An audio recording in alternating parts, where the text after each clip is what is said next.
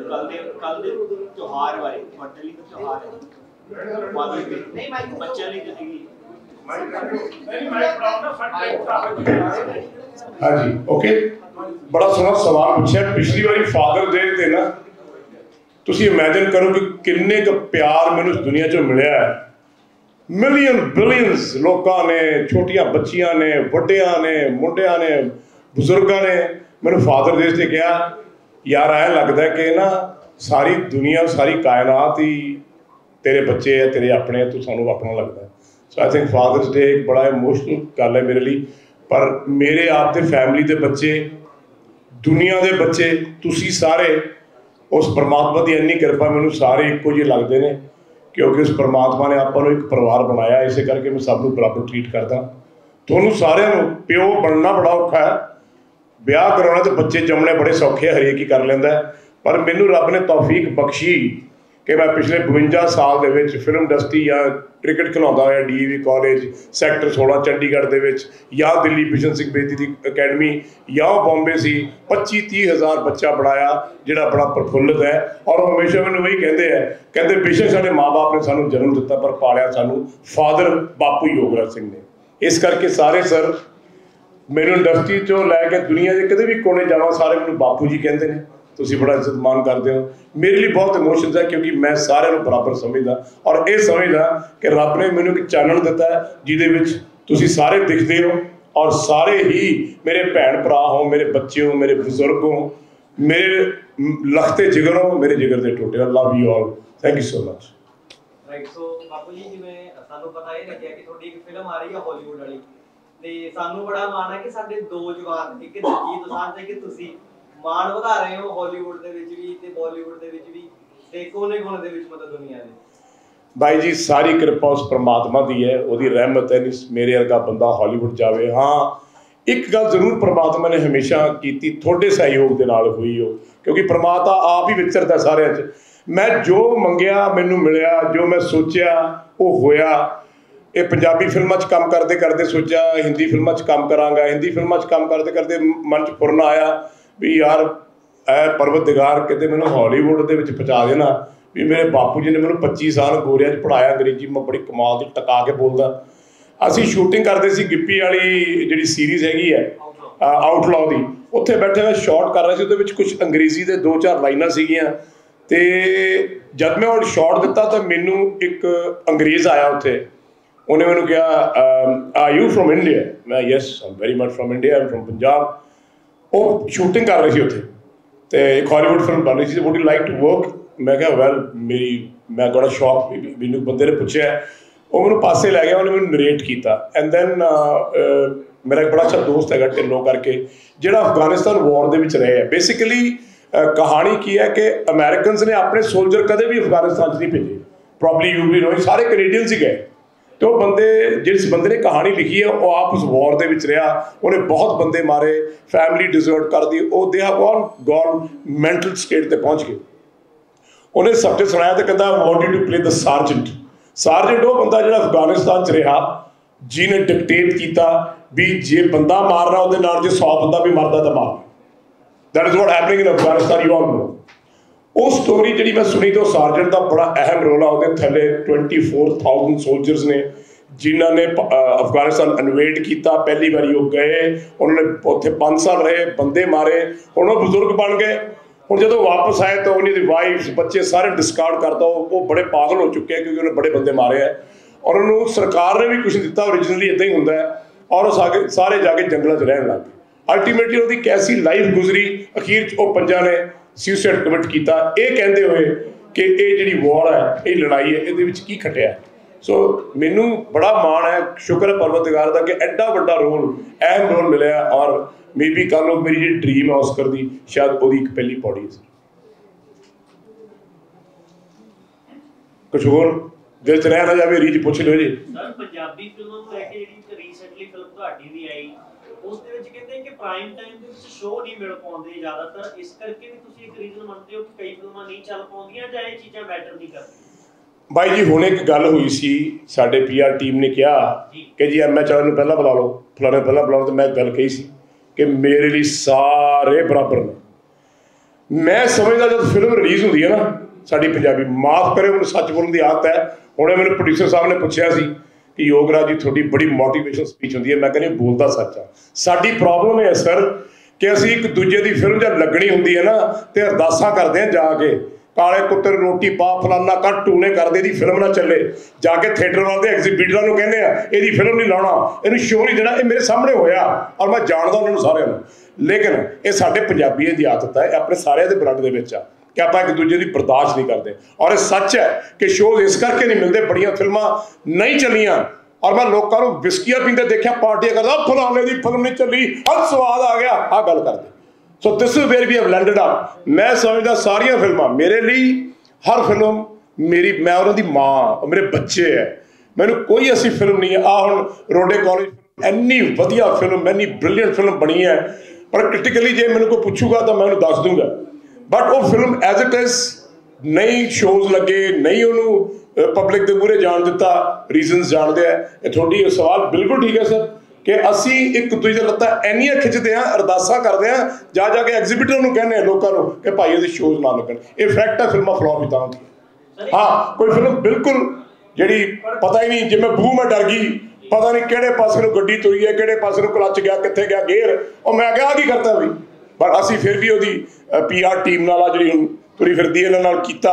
ਫਿਰ ਵੀ ਉਹ ਫਿਲਮ ਦੇ ਚਲੋ ਪੈਸੇ ਪੂਰੇ ਹੋ ਗਏ ਪ੍ਰੋਡਿਊਸਰ ਦੇ ਕਿਉਂਕਿ ਮਿਹਨਤ ਬਹੁਤ ਮਾਰੀ। ਹਾਂਜੀ ਬੋਲੋ। ਆਪਣਾ ਯੁਵਰਾਜ ਜੀ ਅਹ, ਤੁਸੀਂ ਨਹੀਂ ਸਮਝਦੇ ਵੀ ਕੋਈ ਆਰਗੇਨਾਈਜੇਸ਼ਨ ਬਣਨੀ ਚਾਹੀਦੀ ਹੈ ਮਜ਼ਬੂਤ ਜਿਹੜੀ ਇਸ ਗੱਲ ਦੀ ਨੁਮਾਇੰਦਗੀ ਕਰੇ ਕਿ ਕੋਈ ਸ਼ੋਜ਼ ਨਾ ਮਿਲਣਾ ਇੱਕ ਬਹੁਤ ਵੱਡਾ drawback A B C consider ਕੀਤਾ ਜਾ ਰਿਹਾ ਹੈ ਵੀ A ਕੈਟਾਗਰੀ ਦੇ ਕਰੈਕਟਰ B ਕੈਟਾਗਰੀ ਦੇ ਕਰੈਕਟਰ ਹਾਲਾਂਕਿ ਰੋਡੇ ਕਾਲਜ ਵਿੱਚ ਬਹੁਤ ਵੱਡਾ ਫੇਸ ਤੁਹਾਡਾ। ਪਰ ਤੁਸੀਂ ਦੋ ਸ਼ੇਡ ਦੇ ਵਿੱਚ ਉਸ ਰੋਲ ਨਿਭਾਇਆ ਬਾਪ ਖੂਬੀ ਨਿਭਾਇਆ। ਪਰ ਇਸ ਦੇ ਬਾਵਜੂਦ ਕਿ ਉਹ ਫਿਲਮ ਸਿਨੇਮੇ ਨੇ ਲਾਏ ਨਹੀਂ, ਇਹ ਕਹਿ ਕੇ ਕਿ ਫਿਲਮ ਇਹ ਨਹੀਂ ਹੈਗੀ ਇਹ ਬੀ ਕੈਟਾਗਰੀ ਦੀ ਫਿਲਮ ਹੈ। ਵੀ ਕੋਈ ਇਸ ਤਰ੍ਹਾਂ ਦੀ ਕੋਈ ਐਸੋਸੀਏਸ਼ਨ ਬਣਨੀ ਚਾਹੀਦੀ ਹੈ ਪੰਜਾਬ 'ਚ, ਜਿਹੜੀ ਨੁਮਾਇੰਦਗੀ ਕਰੇ ਉਹਨਾਂ ਲੋਕਾਂ ਦੀ, ਉਹਨਾਂ ਨਵੇਂ ਮੇਕਰਾਂ ਦੀ ਕਿ ਭਾਈ ਉਹ ਬਰਬਾਦ ਹੋਣ ਤੋਂ ਬਚ ਸਕਣ। ਬਹੁਤ ਸੱਚ ਗੱਲ ਤੁਸੀਂ ਕਹੀ ਹੈ ਸਰ ਕੋਈ ਸ਼ੱਕ ਨਹੀਂ ਹੈ। ਔਰ ਇਸ ਗੱਲ ਦਾ ਬੜਾ ਦੁੱਖ ਹੁੰਦਾ ਹੈ। ਆਰਗੇਨਾਈਜ਼ਰਸ ਕੌਣ ਨੇ? ਆਪਣੇ ਚੋਂ ਹੀ ਨੇ। ਪੋਲੀਟੀਸ਼ੀਅਨਸ ਕੌਣ ਨੇ ਪੋਲਿਟਿਕਸ ਪਾਰਟੀਆਂ ਉੱਤੇ ਬੈਠੇ ਨੇ, ਆਪਣੇ ਚੋਂ ਹੀ ਨੇ।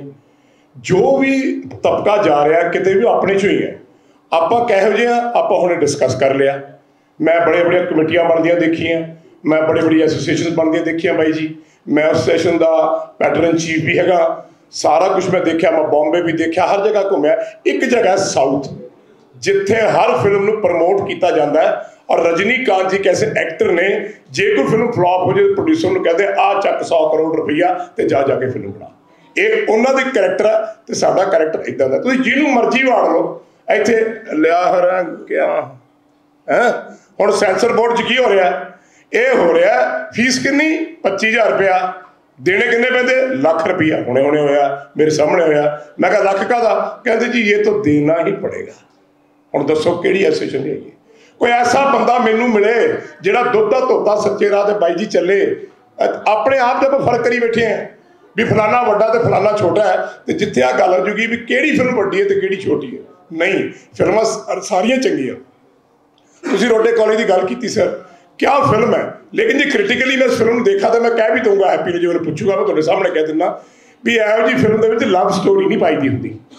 ਜੇ ਉਸ ਫਿਲਮ ਦੇ ਵਿੱਚ ਤੁਸੀਂ ਲਵ ਸਟੋਰੀ ਸਾਈਡ ਤੇ ਕਰਦੇ ਹੋ ਥੋੜੀ ਜੀ I'm just talking about 15 minutes ਤੇ ਉਹਦੇ ਵਿੱਚ ਹੋਰ ਗ੍ਰਾਫ ਵਿਲਨ ਦੇ ਜਾਂ ਦੂਜੇ ਜੋ ਕੁਝ ਹੋ ਰਿਹਾ ਤਾਂ ਉਹ ਫਿਲਮ ਸੁਪਰ ਡੁਪਰ ਹਿੱਟ ਹੈ। ਕੱਲ ਵੀ, ਅੱਜ ਵੀ। ਲੇਕਿਨ ਉਹਨੂੰ ਪ੍ਰਮੋਟ ਹੀ ਨਹੀਂ ਕੀਤਾ ਗਿਆ। ਉਹਦੀ ਪ੍ਰਮੋਸ਼ਨ ਤੇ ਨਹੀਂ ਕੋਈ ਆ ਮੈਂ ਨਹੀਂ ਜਾ ਸਕਿਆ। ਇੱਕ ਬੰਦੇ ਦਾ ਐਟੀਟਿਊਡ ਸਾਡੇ ਇਹੋ ਜਿਹੇ ਨੇ, ਬੜੇ ਸਾਡੇ ਜਿਹੜੇ ਬੰਦੇ ਨੇ, ਉਹ ਸਰ ਬੜੇ ਹੰਕਾਰੇ ਹੋਏ ਨੇ। ਮੈਂ ਫਲਾਨਾ, ਮੇਰੇ ਵਰਗਾ ਮੇਕਰ ਹੀ ਕੋਈ ਨਹੀਂ। ਮੇਰੇ ਵਰਗਾ ਫਲਾਨਾ ਕੋਈ ਨਹੀਂ, ਬੰਦੇ ਨੂੰ ਮੈਂ ਮਰਵਾ ਦਿੰਦੀ ਹੈ। ਸੋ ਇਟ ਇਜ਼ ਐਵਰੀਵੇਅਰ ਮੈਂ ਤੇ ਥੱਕ ਗਿਆ। ਪਹਿਲਾਂ ਮੈਂ ਮੀਟਿੰਗਾਂ ਜਾਂਦਾ ਹੁੰਦਾ ਸੀ ਹੁਣ ਮੈਂ ਨਹੀਂ ਜਾਂਦਾ ਕਿਉਂਕਿ ਉੱਥੇ ਜੋ ਜਾਣਦਾ ਝੂਠ ਬੋਲਿਆ ਜਾਂਦਾ ਮਾਈਕ ਫੜ ਕੇ। ਜੋ ਜਾਣਦੇ ਹੋ ਗੱਲਾਂ ਕਰਦੇ ਨੇ ਆਪਣੇ ਤੋਂ ਬਰਦਾਸ਼ਤ ਨਹੀਂ ਹੁੰਦਾ। ਬਟ ਯੂ ਵੈਰੀ ਰਾਈਟ ਕਾਸ਼ ਇਸ ਦੇਸ਼ ਦੇ ਵਿੱਚ ਕੁਝ ਐਸੇ ਦੁੱਧ ਨਾਲ ਧੋਤੇ ਹੋਏ ਬੰਦੇ ਹੋਣ ਤਾਂ ਇਹ ਦੇਸ਼ ਮਹਾਨ ਦੇਸ਼ ਬਣ ਜੇ। ਇਹ ਆਪਣੀ ਕੰਟਰੀ ਦਾ ਹਾਲ ਹੀ ਐਸੇ ਕਰਕੇ ਹੈ ਕਿ ਆਪਾਂ ਦਗੱਲੇ ਕੈਰੈਕਟਰ ਦੇ ਬੰਦੇ ਆ। ਰੋਡੇ ਕਾਲਜ ਦੀ ਸਰ ਗੱਲ ਕਰ ਰਹੇ ਹੋ। ਜੀ। ਅਹ ਇਹ ਹੋ ਸਕਦਾ ਕਹਾਣੀ ਵਧੀਆ ਡਾਇਰੈਕਸ਼ਨ ਵਧੀਆ ਸਭ ਮੈਂ ਕਹਿੰਦਾ ਜੀ ਹਾਲੀਵੁੱਡ ਫਿਲਮ ਹੈ ਤੁਸੀਂ ਛੱਡੋ ਪਰੇ। ਜੇ ਜਾਣੇ ਮਾਨੇ ਪਰਸਨੇ ਐਕਟਰ ਹੁੰਦੇ ਹੋਰੀ ਜਗ੍ਹਾ ਤੁਹਾਨੂੰ ਲੱਗਦਾ ਤਾਂ ਚੱਲਣੀ ਨਹੀਂ ਨਹੀਂ ਕਰਤੀ ਨਾ ਗੱਲ ਤੁਸੀਂ। ਨੋ ਨੋ ਨੋ ਜਾਣੇ ਪਛਾਣੇ ਐਕਟਰਾਂ ਦੀਆਂ 7-7 8 ਫਿਲਮਾਂ ਫੇਲ ਹੋਈਆਂ ਤੁਹਾਡੇ ਸਾਹਮਣੇ ਹੋਣੀ। ਕੋਈ ਜਾਣਾ ਪਹਿਚਾਨਾ ਐਕਟਰ ਅਮਿਤਾਭ ਬੱਚਨ ਦੀਆਂ 18 ਫਿਲਮਾਂ ਨਾਲ ਰੋ ਫੇਲ ਹੋਈਆਂ ਤੇ ਮੁੜ ਕੇ ਸਾਰਾ ਕੁਝ ਵਿਕ ਗਿਆ ਸੀ ਤੇ ਮਸਾ ਛੂਤ ਆਈ ਗੱਡੀ ਮੈਂ ਠੀਕ ਕਹਿ ਰਿਹਾ ਤੁਹਾਡੇ ਸਾਹਮਣੇ ਹੋਇਆ ਉਹਦੀ ਕੋਠੀ ਵਿਕਣੀ ਸੀ। ਕਿਹੜੇ ਐਕਟਰ ਦੀ ਗੱਲਾਂ ਕਰਦੇ ਹੋ? ਆ ਜਿਹੜੇ ਨਵੇਂ ਐਕਟਰ ਬੀਬਾ ਜੀ ਡਿਫਰੈਂਸ਼ੀਏਸ਼ਨ ਨਹੀਂ ਕਰੀ ਕਦੇ ਵੀ। ਸਾਰੇ ਐਕਟਰ ਕਮਾਲ ਦੇ ਨੇ ਫਿਲਮ ਦੇ ਵਿੱਚ। ਹਰ ਐਕਟਰ ਜੋ ਸਟੇਜ ਤੇ ਆਉਂਦਾ ਸਿੱਖਦਾ ਮੇਰੇ ਵਰਗਾ ਐਕਟਰ ਜਿਹੜਾ ਪਹਿਲੀ ਵਾਰੀ ਗਿਆ ਸੀਗਾ ਤੁਸੀਂ ਸਵਾਲ ਇਹੋ ਜਿਹਾ ਕਰ ਲਿਆ ਤੇ ਹੁਣ ਤੁਸੀਂ ਸੁਣ ਵੀ ਲਿਓ ਮੈਨੂੰ ਮੈਂ ਡਾਇਲੌਗ ਬੋਲਿਆ ਮੈਂ ਭੱਜ ਗਿਆ। ਆਡੀਓ ਲਾਈਟਾਂ ਮੈਂ ਕਿਹਾ ਮੈਂ ਕੰਮ ਕਰਦਾ। ਮੈਨੂੰ ਦਲਜੀਤ ਕੌਰ ਜੀ ਨੇ ਕਹਾ ਮੁੰਡਿਆ ਇਧਰ ਮੈਂ ਕਿਹਾ ਮੈਡਮ ਮੇਰਾ ਕੰਮ ਨਹੀਂ ਮੇਰੀਆਂ ਟੰਗਾਂ ਐ ਮੈਂ ਤਾਂ ਕ੍ਰਿਕਟ ਖੇਡਣ ਵਾਲਾ ਬੰਦਾ। ਹੌਲੀ ਹੌਲੀ ਹੌਲੀ ਹੌਲੀ ਲੱਗ ਕੇ ਫਿਲਮ ਬਟਵਾਰਾ ਬਣੀ, ਯਾਰ ਗਰੀਬਾਂ ਦਾ ਬਣੀ। ਤੇ ਉਹ ਕਰਦੇ ਕਰਦੇ ਅੱਜ ਵੀ ਮੈਂ ਐਕਟਰ ਨਹੀਂ ਹੈਗਾ, ਪਰ ਮੈਂ ਕੋਸ਼ਿਸ਼ ਕਰਦਾ। ਸੋ ਕੋਈ ਵੀ ਐਕਟਰ ਵੱਡਾ, ਛੋਟਾ ਨਹੀਂ ਹੁੰਦਾ। ਸਾਰੇ ਐਕਟਰ ਇੱਕੋ ਬਰਾਬਰ ਨੇ। ਕੁਐਸਚਨ ਇਹ ਹੈ ਕਿ ਤੁਹਾਡਾ ਸਬਜੈਕਟ ਤਕੜਾ ਹੋਣਾ ਚਾਹੀਦਾ। ਰੋਡੇ ਕਾਲਜ ਵਾਲਾ ਸਬਜੈਕਟ ਨਹੀਂ ਚੱਲਿਆ, ਇਹ ਦੁੱਖ ਵਾਲੀ ਗੱਲ ਹੈ। ਇਸ ਕਰਕੇ ਨਹੀਂ ਚੱਲਿਆ, ਕਿਉਂਕਿ ਉਹ ਸਰ ਨੇ ਜਿਹੜੀ ਗੱਲ ਕੀਤੀ ਹੈ ਨਾ ਬੀ ਗ੍ਰੇਡ ਵਾਲੀ ਫਿਲਮ ਸ਼ੋਜ਼ ਨਹੀਂ ਦੇਣੇ ਪ੍ਰਮੋਟ ਨਹੀਂ ਕਰਨਾ। ਹਰ ਫਿਲਮ ਨੂੰ ਹਰ ਪੰਜਾਬੀ ਨੂੰ ਪ੍ਰਮੋਟ ਕਰਨਾ ਚਾਹੀਦਾ ਚੱਲੇ ਨਾ ਚੱਲੇ ਇਹ ਰੱਬ ਦੀ ਮਰਜ਼ੀ ਹੈ। ਲੇਕਿਨ ਆਪਾਂ ਇਹ ਨਾ ਕੀ ਵੀ ਆਪਾਂ ਕੋਸ਼ਿਸ਼ ਨਹੀਂ ਕੀਤੀ। So you never say anything about actors all actors are brilliant actors ਮੈਨੂੰ ਇੱਕ ਐਕਟਰ ਦੱਸ ਦਿਓ। ਆ ਭੱਲਾ ਦਾ ਮੁੰਡਾ ਪਹਿਲੀ ਵਾਰੀ ਆਇਆ। Such a brilliant actor he is ਹੌਲੀ ਹੌਲੀ ਹੌਲੀ ਸਿੱਖਦਾ ਸਿੱਖਦਾ ਹੀ will become a great actor you understand ਆ ਗੱਲ ਜੀ। ਬਾਪੂ ਜੀ ਮੇਰਾ ਹੋਰ ਸਵਾਲ ਹੈ। ਜੀ ਜੀ ਦੱਸ ਪੁੱਛੋ।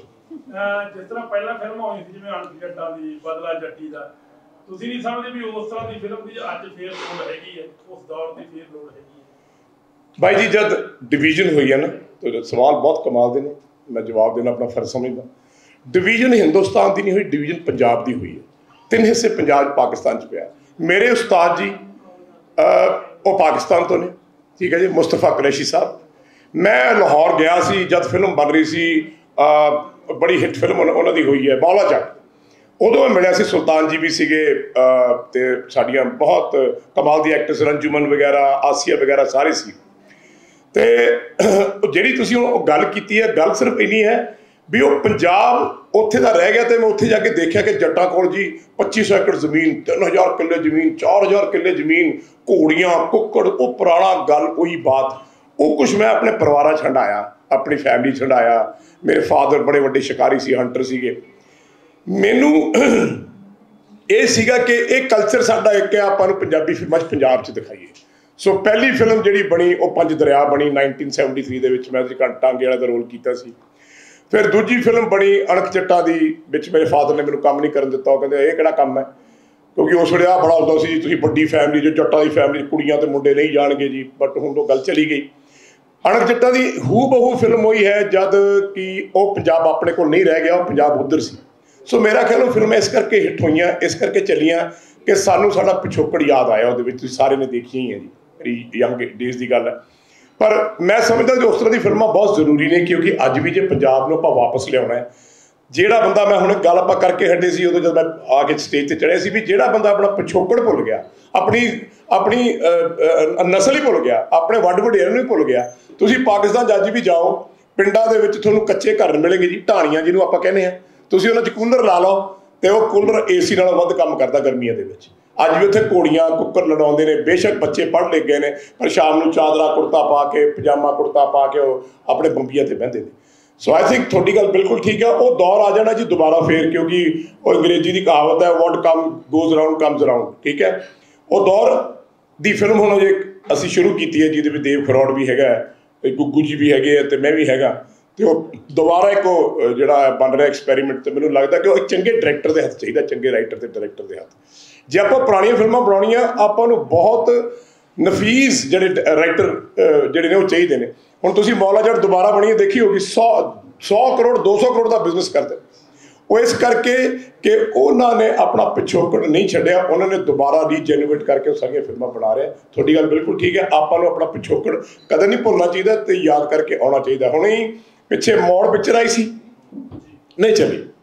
ਕੁਛ ਨਾ ਕੁਛ ਤਾਂ ਸੀਗਾ ਉਸ ਫਿਲਮ ਦੇ ਵਿੱਚ ਜਿਹੜੀ ਨਹੀਂ ਚੱਲੀ ਹਾਲਾਂਕਿ ਐਡਾ ਵੱਡਾ ਸਬਜੈਕਟ ਸੋ ਆਈ ਥਿੰਕ ਬਹੁਤ ਜ਼ਰੂਰੀ ਹੈ ਆਪਣੇ ਵੱਡ ਵਡੇਰਿਆਂ ਨੂੰ ਯਾਦ ਕਰਕੇ ਆਪਣੇ ਪੁਰਖਾਂ ਨੂੰ ਯਾਦ ਕਰਕੇ ਆਪਾਂ ਆਪਣੇ ਆਉਣ ਵਾਲੀ ਨਸਲ ਨੂੰ ਦੱਸੀਏ ਕਿ ਆਪਾਂ ਬੇਸਿਕਲੀ ਕੀ ਹੈਗੇ।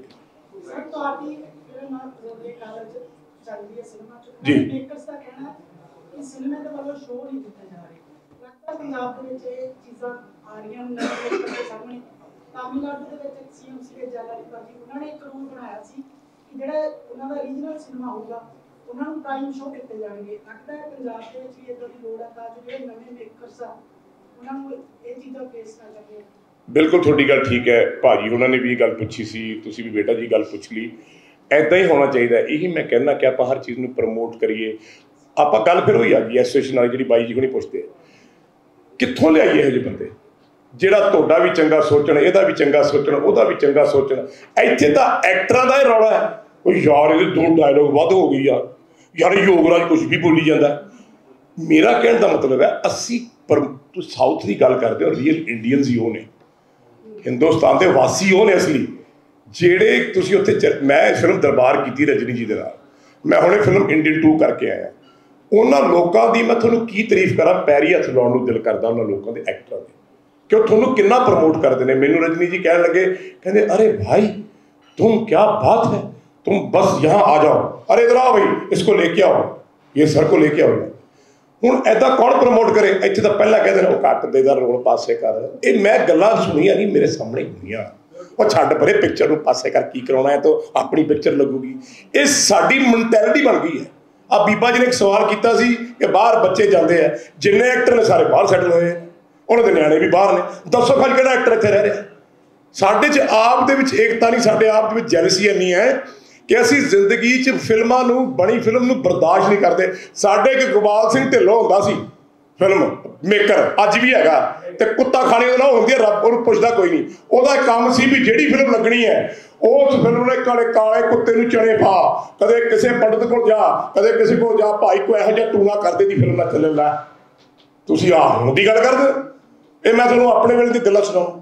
ਮੈਂ ਫਿਲਮਾਂ ਕੀਤੀਆਂ, ਹਜ਼ਾਰਾਂ ਮੇਰੇ ਸੀਨ ਕੱਟਦੇ ਮੈਂ ਕਈ ਵਾਰੀ ਤੁਹਾਨੂੰ ਇੰਟਰਵਿਊ 'ਚ ਕਿਹਾ।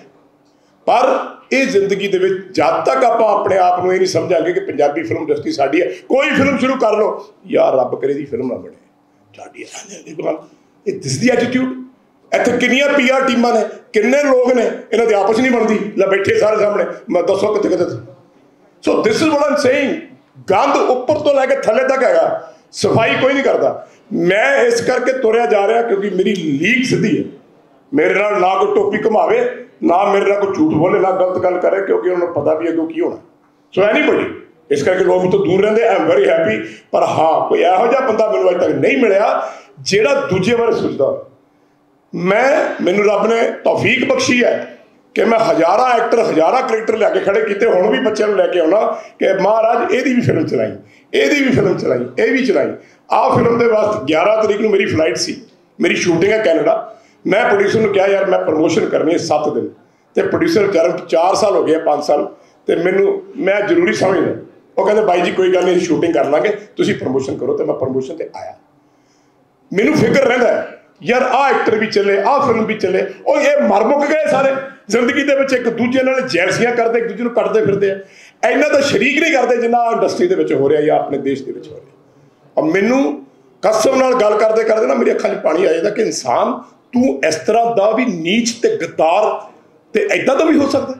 ਅਸੀਂ ਆਪਣੇ ਆਪ ਨੂੰ ਇੰਨਾ ਗੇਰ ਲਿਆ ਸਰ ਕਿ ਜਿੱਤੇ ਆਪਣੇ ਆਪ ਨੂੰ ਝਾਕੀ ਹੈ ਨਾ, ਤਾਂ ਐਂ ਲੱਗਦਾ ਕਿ ਅਸੀਂ ਇਨਸਾਨ ਬਣਨ ਦੇ ਕਾਬਿਲ ਹੈ ਨਹੀਂ।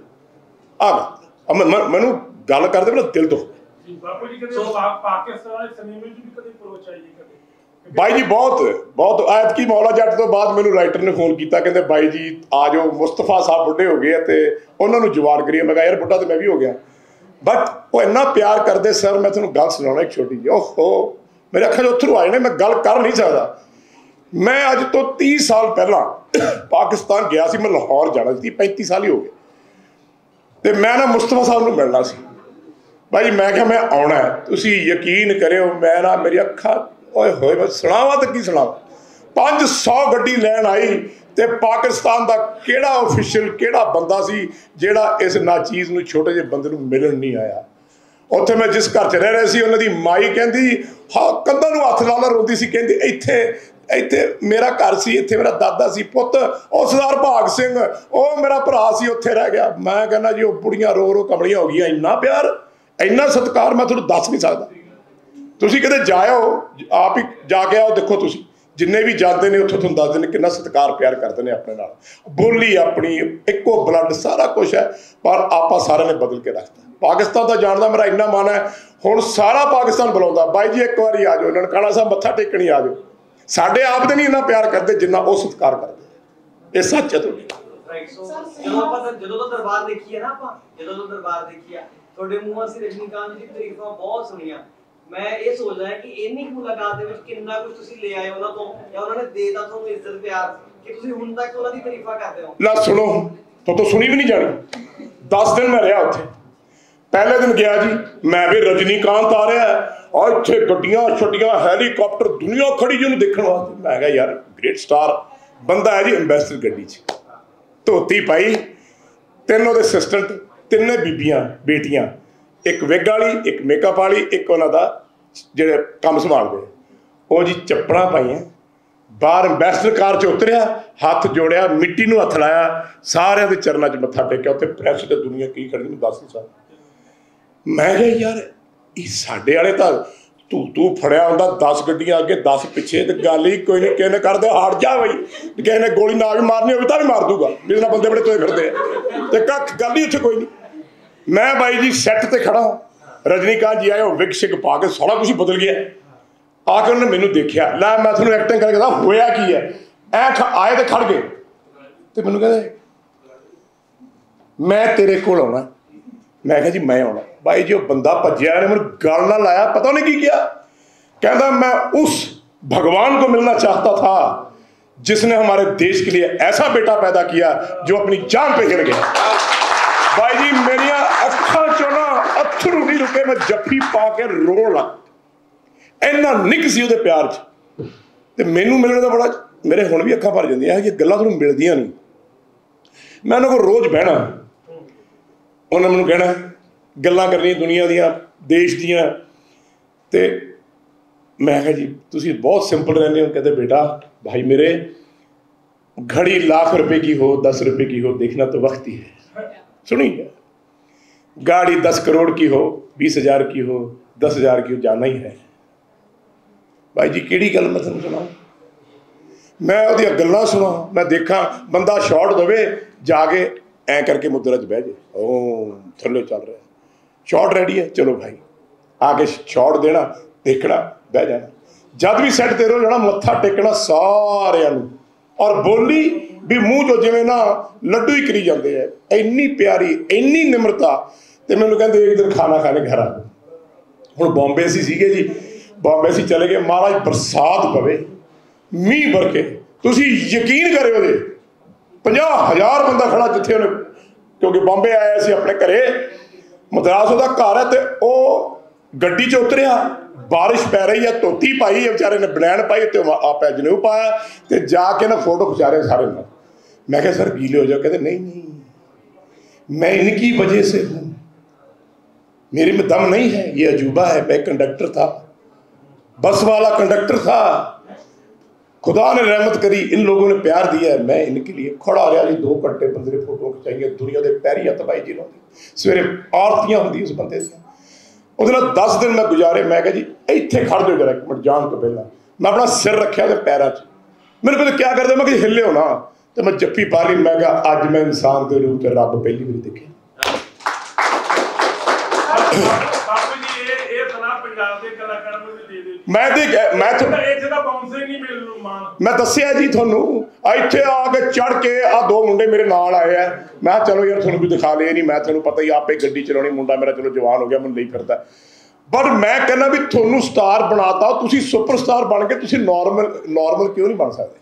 ਕੀ ਪ੍ਰੋਬਲਮ ਹੈ? ਆ ਤੁਸੀਂ ਪ੍ਰੈਸ ਵਾਲੇ ਖੜੇ ਹੋ, ਮੈਂ ਤਾਂ ਆ ਕੇ ਹਰੇਕ ਨੂੰ ਆ ਵੀ ਬਾਈ ਕੀ ਹਾਲ ਹੈ? ਹੋਰ ਵੀ ਆਪਾਂ ਇਦਾਂ ਹੀ ਮਿਲਦੇ ਆ ਸਰ?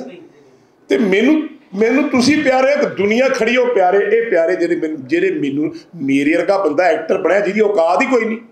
ਜਿਹਨੂੰ ਕੋਈ ਪੁੱਛਣ ਵਾਲਾ ਨਹੀਂ, ਤੁਸੀਂ ਮੈਨੂੰ ਐਡੀ ਦੂਰ ਲਿਆਇਆ, ਤੇ ਮੈਂ ਤੁਹਾਡੇ ਤੋਂ ਮੂੰਹ ਮੋੜਾ ਲੱਖ ਲਾਣਾ, ਤਾਂ ਮੇਰੀ ਜ਼ਿੰਦਗੀ ਤੇ ਮੈਨੂੰ ਮਰ ਜਾਣਾ ਚਾਹੀਦਾ। ਇਹ ਮੈਂ ਇਹ ਮੈਂ, ਹਾਂਜੀ। ਕੀ ਹਾਲ? ਮਾਤਾ, ਠੀਕ ਹੋ? ਤੁਸੀਂ ਕ੍ਰਿਕਟ ਦੀ ਦੁਨੀਆ ਵਿੱਚ ਕੋਈ ਛੱਕੇ ਚੌਕੇ ਮਾਰੋ। ਹੁਣ ਪੰਜਾਬੀ ਇੰਡਸਟਰੀ ਦੀ ਚੌਕੇ ਛੱਕੇ ਮਾਰੋ। ਇਹਦੇ ਵਿੱਚ ਵਾਹਿਗੁਰੂ ਦਾ ਆਸ਼ੀਰਵਾਦ ਹੈ ਜਾਂ ਕਿਸੇ ਹੋਰ ਦੀ ਖੁਸ਼ ਇਹਦੇ ਬਾਰੇ ਕੀ ਕਹਿਣਾ ਗੁਰੂ ਨਾਨਕ ਸਭ ਤੇਰੀ ਵਡਿਆਈ, ਮੇਰਾ ਨਾਮ ਨਾ ਜਾਣੇ। ਕੋਈ ਨਹੀਂ ਜਾਣਦਾ ਜੀ। ਤੁਹਾਡਾ ਪਿਆਰ, ਸਤਿਕਾਰ ਮੇਰੇ ਵਰਗਾ ਬੰਦਾ ਮੈਂ ਕਈ ਵਾਰੀ ਆਪਣੀ ਸ਼ਕਲ ਦੇਖਦਾ ਸ਼ੀਸ਼ੇ 'ਚ। ਓਏ, ਤੇਰੀ ਸ਼ਕਲ ਹੈਗੀ ਐਕਟਰ ਬਣਨ ਵਾਲੀ। ਤੈਨੂੰ ਡਾਇਲੌਗ ਬੋਲਦਾ ਤੂੰ ਦੁਨੀਆ ਜੈ ਜੈਕਾਰ ਕਰਦੀ ਹੈ, ਇਹ ਉਹਦੀ ਰਹਿਮਤ ਹੈ, ਰੱਬ ਦੀ ਬੰਦਾ ਕੁਝ ਨਹੀਂ ਕਰ ਸਕਦਾ, ਨਹੀਂ ਤਾਂ ਅਮਿਤਾਭ ਬੱਚਨ ਵਾਲਾ ਕੰਗਾਲ ਹੋਣ ਹੋਣ ਤੋਂ ਬਚਦਾ ਨਾ। ਉਹ ਰੱਬ ਨੇ ਬਚਾ ਉਹਨੂੰ ਦਿਖਾਇਆ ਸੀ ਸ਼ੀਸ਼ਾ ਕਿ ਤੂੰ ਜਿਹੜਾ ਬਣੇ ਰੱਬ ਬਣਿਆ ਫਿਰਦਾ ਨਾ, ਆਹ ਤੇਰੀ ਜਗ੍ਹਾ ਇਸ ਕਰਕੇ ਉੱਥੇ ਹੀ ਬਹਿਣਾ ਚਾਹੀਦਾ, ਗੁਰੂ ਨਾਨਕ ਦੇਵ ਜੀ ਇੱਕ ਵਾਰੀ ਚਲੇ ਗਏ, ਭੈਣ ਮੇਰੀਏ, ਤੇ ਉਹ ਮਿਸਰ ਦਾ ਰਾਜਾ, ਉਹ 84 ਪੌੜੀਆਂ ਤੇ ਬੈਠਾ ਤੇ ਪੁੱਛਦਾ ਉਹ ਭਾਈ ਫਕੀਰਾ, ਰੱਬ ਕੁਝ ਕਰਦਾ ਵੀ ਹੈ ਕਿ ਵਿਹਲਾ ਹੀ ਬਹਿੰਦਾ ਹੈ? ਉਹ ਕਹਿੰਦਾ, ਕੋਈ ਨਹੀਂ, ਥੱਲੇ ਆ, ਫਿਰ ਦੱਸਦੇ ਆ। ਉਹ ਆਇਆ 84 ਪੌੜੀਆਂ ਥੱਲੇ ਉਤਰ ਕੇ ਤੇ ਗੁਰੂ ਨਾਨਕ ਦੇਵ ਜੀ ਚੜ੍ਹ ਕੇ ਉੱਤੇ ਚਲੇ ਗਏ ਤੇ ਜਾ ਕੇ ਲਾਰਿਆ ਚੌਂਕੜਾ ਤੇ। ਉਹ ਕਹਿੰਦੇ, ਉਹ ਮੈਂ ਤੈਨੂੰ ਪੁੱਛੀ ਜਾਣਾ ਤੇਰਾ ਰੱਬ ਕੁਝ ਕਰਦਾ ਵੀ ਕਿ ਨਹੀਂ? ਉਹ ਕਹਿੰਦਾ, ਆਹੀ ਕੁਛ ਹੀ ਕਰਦਾ ਜੋ ਕੁਝ ਹੋਇਆ ਹੁਣ। ਉਹ ਕਹਿੰਦਾ, ਕੀ ਹੋਇਆ? ਕਹਿੰਦਾ, ਤਖਤੋਂ ਤਾਜ ਤੇ ਥੱਲੇ ਆ ਗਿਆ, ਜ਼ਮੀਨ ਤੇ ਬੈਠਾ ਤੇ ਮੈਂ ਜ਼ਮੀਨ ਤੇ ਬੈਠਾ, ਤਖਤੋਂ ਤਾਜ ਤੇ ਬੈਠਾ ਆ ਰੱਬ ਕਰਦਾ ਇਹ ਐਕਟਰਾਂ ਨੂੰ ਤੇ ਲੋਕਾਂ ਨੂੰ, ਦੁਨੀਆ ਨੂੰ ਵੱਡ ਵਡੇਰ ਨੂੰ, ਪ੍ਰਧਾਨ ਮੰਤਰੀਆਂ ਨੂੰ ਪ੍ਰੈਜ਼ੀਡੈਂਟ ਨੂੰ ਸਮਝ ਨਹੀਂ ਆਈ ਕਿ ਉਹਦੀ ਚੱਕਰ ਚੱਲਿਆ ਤੇ ਤੂੰ ਇੱਥੇ ਆਇਆ ਤੇ ਉਹਦਾ ਚੱਕਰ ਚੱਲਿਆ ਤੇ ਤੇਰੀ ਖਾਕ ਤੇ ਕਿਸੇ ਨੇ ਥੁੱਕਣਾ ਵੀ ਨਹੀਂ ਗੱਲ ਇੱਥੇ ਮੁੱਕਦੀ ਹੈ ਜਿਹਨੂੰ ਯਾਦ ਮੈਂ ਹਮੇਸ਼ਾ ਯਾਦ ਰੱਖਦਾ ਆਲਵੇਜ਼ ਕਿ ਪਤਾ ਨਹੀਂ ਕਿਹੜੇ ਘੜੀ ਮੌਤ ਆ ਜਾਣੀ ਹੈ ਉਹ ਜੱਫੀਆਂ ਪਾ ਕੇ ਪਿਆਰ ਵੰਡ ਕੇ ਤੁਰ ਜਾ ਕਿਤੇ ਜਦ ਤੂੰ ਖੜੇਗਾ ਰੱਬ ਦੀ ਦਰਗਾਹ 'ਚ ਸਾਰੇ ਕਹਿਣਗੇ ਆ ਬੰਦਾ ਬੜਾ ਚੰਗਾ ਸੀ। ਇੰਨੀ ਗੱਲ ਹੈ ਜੀ। ਭਾਈ ਸਤਿ ਸ਼੍ਰੀ ਅਕਾਲ ਜੀ। ਮੇਰਾ ਇੱਕ ਸਵਾਲ ਆਪਾਂ ਭਾਈ ਇੰਡੀਆ ਇੰਡੀਆ ਪਾਕਿਸਤਾਨ ਦਾ ਮੈਚ ਹੋਇਆ। ਹਾਂ ਮੈਨੂੰ ਪਤਾ ਤੁਸੀਂ ਕਿੱਥੇ ਆਉਣਾ। ਜੀ ਕਾਮਰਾਨ ਹੂੰ। ਦਾ ਬਿਆਨ ਆਇਆ ਸਾਰੀ ਦੁਨੀਆ ਜਾਣਦੀ ਹੈ। ਮੈਨੂੰ ਪਤਾ ਸੀ ਤੁਸੀਂ ਸਵਾਲ ਕਰਨਾ ਹੀ ਕਰਨਾ ਹੈ। ਹੁਣ ਇਹ ਸਵਾਲ ਦਾ ਜਵਾਬ ਮੈਂ ਤੁਹਾਨੂੰ ਪਤਾ ਕਿਸ ਤਰ੍ਹਾਂ ਦੇਣਾ ਤੇ ਸੁਣੋ ਕਰ ਲਿਆ ਮੋਗੀ ਗੱਲ? ਤੁਹਾਨੂੰ ਇਹ ਸਵਾਲ ਕਰਨਾ ਨਹੀਂ ਚਾਹੀਦਾ ਪਰ ਤੁਸੀਂ ਕਰ ਲਿਆ। ਹੁਣ ਜਵਾਬ ਇਹਦਾ ਇਹ ਹੈ ਵੀ ਇੱਕ ਹਾਥੀ ਤੁਰਿਆ ਜਾਂਦਾ। ਠੀਕ ਹੈ? ਮਸਤ ਹਾਥੀ। ਕੋਈ ਵੀ ਹੈ ਕਿਸੇ ਵੀ ਧਰਮ ਦਾ ਉਹ ਜਾਨਵਰ ਦਾ ਕੋਈ ਧਰਮ ਨਹੀਂ ਉਹ ਰੱਬ ਦਾ ਪਿਆਰਾ ਤੇ ਗਲੀ ਦੇ ਕੁੱਤੇ ਭੌਂਕਦੇ ਪਾਓ ਉਹ ਫਿਰ? ਜੂ ਚੱਲ ਸੋ ਚੱਲ ਚੱਲ ਸੋ ਚੱਲ। ਉਹਦੀ ਪੂੰਛ ਲਟਕਦੀ ਹੈ ਵਾਹਿਗੁਰੂ ਵਾਹਿਗੁਰੂ ਕਰਦਾ ਤੁਰਿਆ ਜਾਂਦਾ। ਜੇ ਕੁੱਤਿਆਂ ਦੇ ਜਵਾਬ ਦੇਣ ਲੱਗ ਜੇ ਫਿਰ ਉਹ ਹਾਥੀ good.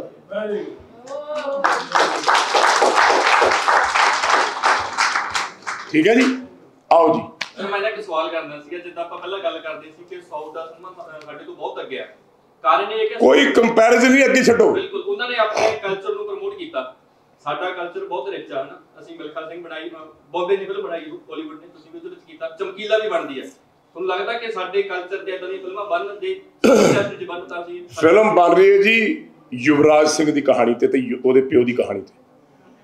ਫਿਲਮ ਲਿਖ ਕੇ 100 ਡਰਾਫਟ ਉਹਦੇ ਆ ਗਏ ਆ, ਜਦ ਤੱਕ ਮੈਂ ਓਕੇ ਨਹੀਂ ਕਰਦਾ, ਹੋਣੀ ਨਹੀਂ। ਮਹਾਰਾਜ ਕਰੇ, ਅਰਦਾਸ ਕਰੇ ਜਦੋਂ ਉਹ ਫਿਲਮ ਬਣੀ ਨਾ, ਤੇ ਸਾਹਮਣੇ ਆਈ, ਤੇ ਮੈਂ ਤੁਹਾਨੂੰ ਯਕੀਨ ਨਾ ਕਹਿ ਦਿੰਦਾ ਕਿ ਦੁਨੀਆ ਦੇ ਵਿੱਚ ਇਹੋ ਜਿਹੀ ਫਿਲਮ ਨਹੀਂ ਬਣੀ ਹੋਣੀ ਕਦੇ। ਯੋਗਰਾਜ ਸਿੰਘ ਤੇ ਯੁਵਰਾਜ ਸਿੰਘ ਦੀ ਕਹਾਣੀ ਹੈ। ਤੇ ਯੋਗਰਾਜ ਸਿੰਘ ਦੀ ਬਾਇਓਗ੍ਰਾਫੀ ਹੈ ਕਿਸ ਮਾਂ-ਬਾਪ ਦੇ ਘਰੇ ਪੈਦਾ ਹੋਇਆ ਤੇ ਕਿੱਥੋਂ ਆਇਆ, ਉਹਦਾ ਅੰਗਰੇਜ਼ੀ ਚ ਨਾਂ ਮੇਰੇ ਪੁੱਤਰ ਨੇ ਰੱਖਿਆ the man of the longest hour ਸਾਰੀਆਂ ਲੈਂਗੁਏਜ ਬਣ ਰਹੀ ਹੈ ਔਰ ਹਰ ਬੰਦਾ ਹਾਲੀਵੁੱਡ ਦਾ, ਹਰ ਬੰਦਾ ਸਾਊਥ ਦਾ ਬੌਂਡ ਬਣਾਉਣ ਨੂੰ ਤਿਆਰ ਹੈ।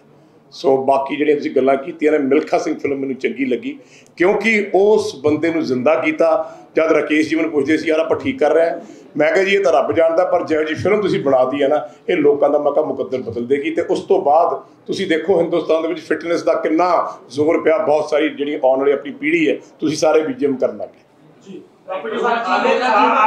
ਜੀ। ਜੀ। ਵੀ ਤੁਸੀਂ ਬਹੁਤ ਪ੍ਰੈਸ ਕਾਨਫਰੰਸ ਨੇ ਕਿਹਾ ਵੀ ਜੇ ਤੁਸੀਂ ਹੀਰੋ ਆਉਣੇ ਹੋ ਤਾਂ ਪੰਜਾਬ ਦੀ ਐਸੀ ਕਿਹੜੀ ਹੀਰੋ ਹੋਊ ਜਿਹਨੂੰ ਤੁਸੀਂ ਇਹ ਕਹੋਗੇ ਕਿ ਮੇਰੇ ਓਪੋਜਿਟ ਲਈ ਉਹਦਾ ਨਾਮ ਸਾਰੀਆਂ ਸਤਿਕਾਰਯੋਗ ਨੇ। ਮੈਂ ਇਹ ਸੀਰੀਅਸਲੀ ਗੱਲ ਕਰ ਰਿਹਾ।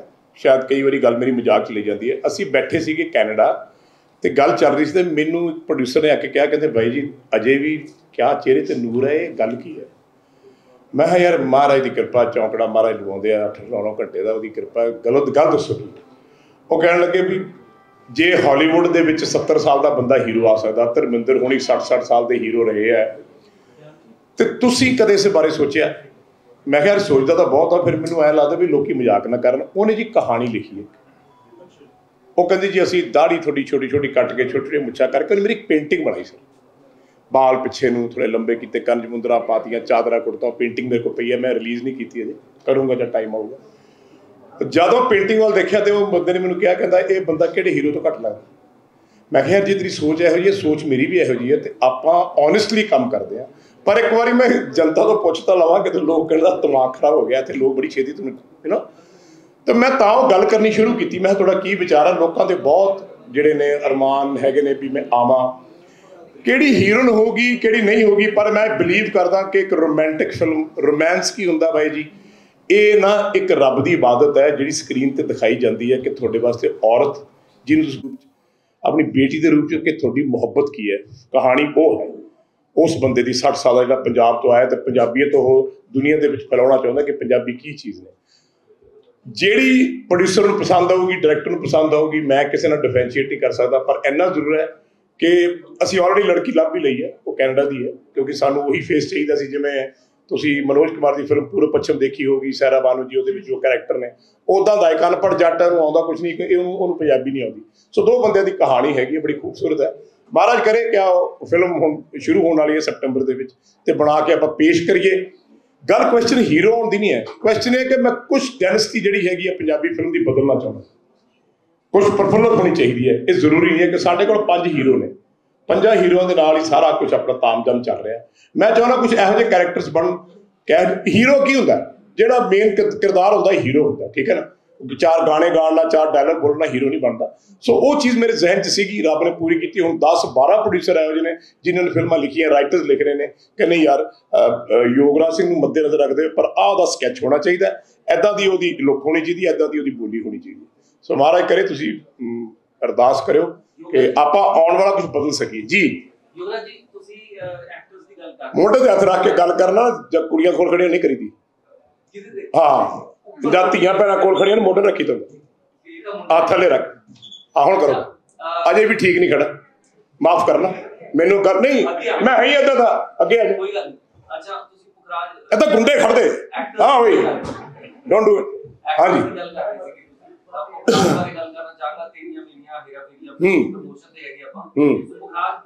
ਪ੍ਰਮੋਸ਼ਨ ਵੀ ਠੀਕ ਹੈ ਤੇ ਇਹ ਵੀ ਠੀਕ ਹੈ। ਹਾਂ, ਬੋਲੋ। ਬਹੁਤ ਅੱਛਾ ਐਕਟਰ ਨਿਕਲ ਸਾਹਮਣੇ ਆ ਰਿਹਾ ਉਸ ਬਾਰੇ ਕੀ ਮੈਂ ਕਿਹਾ ਜੀ, ਮੈਂ ਹਰੇਕ ਨੂੰ ਕਹਿੰਦਾ ਬਾ ਕਮਾਲ, ਗਜਬ। ਸਾਡੇ ਰਿੱਕੀ ਜੀ ਐਵਰੀਬਡੀ ਤੁਸੀਂ ਹੁਣੇ ਸੁਣਿਆ ਨਹੀਂ ਮੈਂ ਕੀ ਕਿਹਾ? ਮਹਾਰਾਜ ਸਭ ਨੂੰ ਤੌਫੀਕ ਬਖਸ਼ੇ ਔਰ ਰੱਬ ਕਰੇ ਇਸ ਪੰਜਾਬੀ ਫਿਲਮ ਇੰਡਸਟਰੀ ਦੇ ਵਿੱਚ 100 ਹੀਰੋ ਹੋਣ ਔਰ ਕੰਪੀਟੀਸ਼ਨ ਇੰਨਾ ਵਧੇ ਕਿ ਆਪਾਂ ਫਿਲਮਾਂ ਨੂੰ ਮੁਬਾਰਕ ਤੱਕ ਪਹੁੰਚਾ ਦੇ ਪਹਿਲਾਂ ਕਈ ਫਿਲਮਾਂ ਕਲੈਸ਼ ਨਹੀਂ ਹੁੰਦੀਆਂ ਸੀ, ਲੇਕਿਨ ਹੁਣ ਜ਼ਿਆਦਾ ਕਲੈਸ਼ ਹੁੰਦਾ ਹੈ ਉਸ ਬਾਰੇ ਕੀ ਉਹੀ ਗੱਲ ਮੇਰੀ ਇਹ ਧੀਏ ਤੋਂ ਪੁੱਛ ਲਈ ਹੈ। ਕਲੈਸ਼ ਤਾਂ ਹੁੰਦੀ ਹੈ। ਹੁਣ ਮੈਂ ਤੁਹਾਨੂੰ ਗੱਲ ਫੇਰ ਉੱਥੇ ਲੈ ਗਿਆ ਤੁਸੀਂ। ਮੋੜ ਪਿਕਚਰ ਲੱਗੀ, ਲੈ ਜੋੜਾ ਮੋੜ ਨਾਲ ਲਾਤੀ। ਉਹ ਗੁੱਗੂ ਦੀ ਪੁਰਾਣੀ ਪਿਕਚਰ ਇਹਨੂੰ ਪੁੱਛੇ ਤੁਸੀਂ ਕੌਲੇ ਹੋਏ? ਮੈਂ ਠੀਕ ਹੈ ਨਾ? ਇਹ ਕੀ ਕੀਤਾ ਤੁਸੀਂ? ਸਿਰਫ ਜੋ ਫਿਲਮ ਫਲॉप ਹੋ ਜਿਸ ਇਸ ਕਰਕੇ ਫਿਲਮ ਲਾਤੀ। ਉਹ ਇਕਬਾਲ ਸਿੰਘ ਢਿੱਲੋਂ ਨੇ। ਇਹੋ ਜਿਹੇ ਬੰਦੇ ਸਾਡੀ ਇੰਡਸਟਰੀ 'ਚ ਜਿਉਂਦੇ ਆ ਵੀ ਧੀਏ ਤੇਰੀ ਫਿਲਮ ਲੱਗਣੀ ਹੈ ਨਾ ਤੇ ਮੈਨੂੰ ਨਾ ਮਹੀਨਾ ਪਹਿਲਾਂ ਬੁਖਾਰ ਚੜ ਜਾਣਾ ਵੀ ਮੈਂ ਨਾ ਜੀ ਫੇਲ ਕਿਵੇਂ ਹੋ ਫਿਰ ਕਿਸੇ ਨੇ ਕਹਿਣਾ ਭਾਈ ਜੇ ਤੂੰ ਆਹ ਟੂਣਾ ਕਰਦੇ ਫੇਲ ਹੋ ਜੂ। ਫਿਰ ਇਹ ਮੈਂ ਦੇਖੀਆਂ ਚੀਜ਼ਾਂ। ਸੋ ਗੱਲਾਂ ਤੁਸੀਂ ਉਹੀ ਪੁੱਛ ਰਹੇ ਹੋ, ਪਹਿਲਾਂ ਆਪਾਂ ਆਪਣਾ ਵਾ ਛਾਂਗ ਲਈਏ ਠੀਕ ਕਰ ਲਈਏ ਤੇ ਉਸ ਪੱਧਰ ਤੇ ਆ ਜਾਈਏ। ਹੁਣ ਮੀਡੀਆ ਦੀ ਗੱਲ ਮੈਂ ਕਰਨਾ ਨਹੀਂ ਚਾਹੁੰਦਾ ਕਿ ਦੇਸ਼ ਦਾ ਹਾਲ ਕਿਵੇਂ ਦਾ ਚੱਕ ਜਰਾ ਆਪਣੀ ਆਪਣੀ ਇੱਥੇ। ਜਿਹੜਾ ਬੰਦਾ ਵਿਕਦਾ ਨਾ ਬੰਦਾ ਕਮਜ਼ੋਰ ਪਤਾ ਕਿਉਂ ਵੱਢਦਾ ਧੀਏ? ਜਦੋਂ ਵਿਆਹ ਹੋ ਜਾਂਦਾ ਫਿਰ ਤੇ ਬੱਚੇ ਹੋ ਜਾਂਦੇ, ਮੇਰੇ ਘਰ ਦੇ ਵੀ ਕਹਿੰਦੇ, ਉਹ ਮੂਰਖਾ ਕਿਉਂ ਤੂੰ ਬੋਲਦਾ?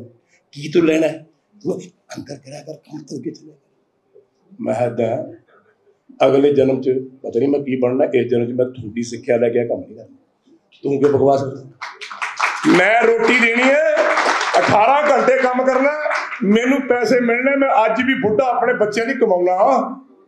ਉਹ ਪੁੱਛੋ ਮੁੰਡਾ ਮੇਰਾ।